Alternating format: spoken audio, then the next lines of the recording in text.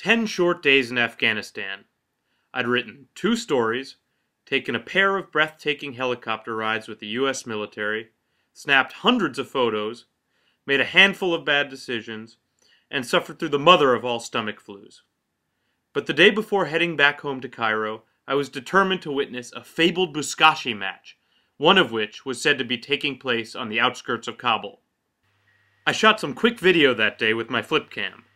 Here it is for your viewing pleasure. Hundreds of Afghans had gathered to watch a handful of men square off on horseback. This was an individual event, and the rules were simple.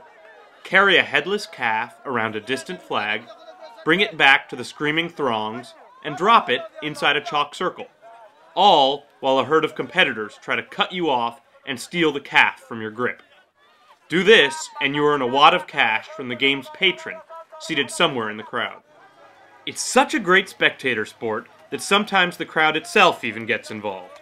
That's because there's no barrier preventing the horses from crashing through the audience. Many find the trucks present a safer platform for viewing. These games were set up to celebrate the inauguration of President Hamid Karzai the day before. And while chatting with the spectators that morning, I learned a couple of interesting Buzkashi facts. First, Buzkashi fans in Kabul think that they play what is unquestionably the burliest version of the game.